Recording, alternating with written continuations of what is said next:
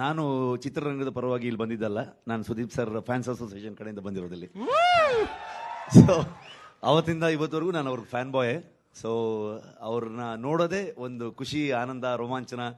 ಅದು ಬಾಲನ ಹೇಳ್ತಿದ್ರಲ್ಲ ಥ್ರಿಲ್ ರೋಮಾಂಚನ ಅಂತ. ಸೊ ಆ ಥರದ ಒಂದು ಫೀಲ್ ಯಾವತ್ತು. ಅದನ್ನ ಇವರು ಭಟ್ರು ಹೇಳ್ದಂಗೆ ಅವರು ನೋಡೋಕ್ಕೆ ಅಷ್ಟು ಎತ್ತರದಲ್ಲಿ ಕಾಣಿಸ್ತಾರೆ.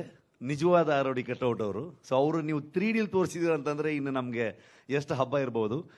ಸೊ ಅನೂಪ್ ಅಂತ ಒಬ್ಬ ಅದ್ಭುತ ನಿರ್ದೇಶಕನ ನಂಬಿ ಸುದೀಪ್ ಸರ್ ಈ ಸಿನಿಮಾನ ಪ್ರಪಂಚಕ್ಕೆ ಕೊಡ್ತಿರೋದು. ನಮ್ಮೆಲ್ಲರ ಹೆಮ್ಮೆ ನಮಗೆಲ್ಲರ ಖುಷಿ ಇನ್ನಷ್ಟು ಪ್ರೀತಿ ಹೆಚ್ಚಾಗಿದೆ.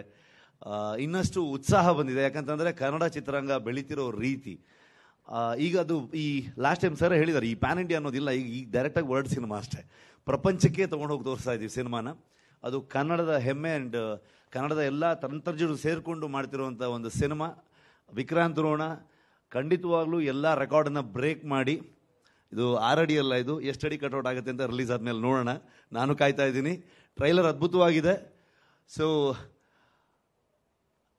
ಇದು ಹೊಸ ರೆಕಾರ್ಡನ್ನು ಖಂಡಿತವಾಗ್ಲೂ ಮಾಡುತ್ತೆ ಅನ್ನೋದು ನನ್ನ ಒಪಿನಿಯನ್ನು ಎಲ್ಲರೂ ಕೇಳ್ತಾ ಇದ್ರು ಸುದೀಪ್ ಸರ್ ಜೊತೆಗೆ ಸಿನಿಮಾ ಯಾವಾಗ ಯಾವಾಗ ಅಂತ. ಫ್ಯಾನ್ ಬಾಯ್ ಆಗಿ ಸ್ವಲ್ಪ ಕಷ್ಟ. ಅಂದರೆ ಅವ್ರು ಎದುರುಗಡೆ ಕೂತ್ಕೊಂಡು ನನ್ನ ಕತೆ ಹೇಳೋದೇ ತುಂಬ ಕಷ್ಟ ಆಗುತ್ತೆ. ಸೊ ಇಲ್ಲಿ ಎದುರುಗಡೆನೇ ಕೂತಿದ್ದಾರೆ. ಈಗ ಮಾತಾಡೋದೇ ಒಂದು ಸ್ವಲ್ಪ ಟೆನ್ಷನ್ ನನಗೆ. ಬಟ್ ಖಂಡಿತವಾಗ್ಲೂ ಅಂಥದ್ದೊಂದು ಸಿನಿಮಾ ಜೊತೆಗೆ, ಸರ್ ಜೊತೆಗೆ ಒಂದು ದಿವಸ ನಾನು ಬಂದೇ ಬರ್ತೀನಿ. Thank you so much